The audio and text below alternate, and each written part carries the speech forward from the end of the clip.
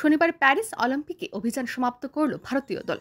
Paris Olympic থেকে মোট ছয়টি পদক জয় করেছেন ভারতীয় অ্যাথলেটরা। এর মধ্যে পাঁচটি ব্রোঞ্জ এসেছে ভারতের ঘরে।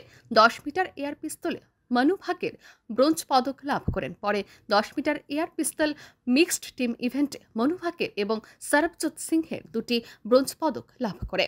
এছাড়া শুটিংয়ে স্বপ্নিল কুশালে কুস্তিতে আমন শেরওয়াত ব্রোঞ্জ পদক লাভ করেন। ব্রোঞ্জ পদক এসেছে পুরুষদের হকি দল থেকেও।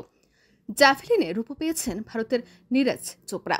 উল্লেখ্য, গত টোকিও অলিম্পিকে সাতটি পদক জিতেছিলেন ভারত। এবার পদক সংখ্যা কমেছে। যদিও কুস্তিগির বিনেশ ফোগাটের রূপ পাওয়ার আবেদন এখনও আন্তর্জাতিক ক্রীড়া আদালতে বিচারাধীন। এ মামলায় বিনেশ জয়ী হলে অলিম্পিক থেকে দ্বিতীয় রূপ পদক পাবে ভারত। সেই সাথে ভারতের পদক সংখ্যা ছয় থেকে বেড়ে সাত হবে। উল্লেখ্য, প্যারিস অলিম্পিকে চৌত্রিশটি সোনা, সাতাশটি রূপ এবং তেইশটি ব্রোঞ্জ পদক জয় করে মোট চুরাশিটি পদক নিয়ে প্রথম স্থানে রয়েছে চীন। তেত্রিশটি স্বর্ণ পদক, একচল্লিশটি রূপ এবং উনচল্লিশটি ব্রোঞ্জ পদক লাভ করে মোট একশো তেরো পদক নিয়ে দ্বিতীয় স্থানে রয়েছে আমেরিকা। রিপোর্ট আর ই নিউজ।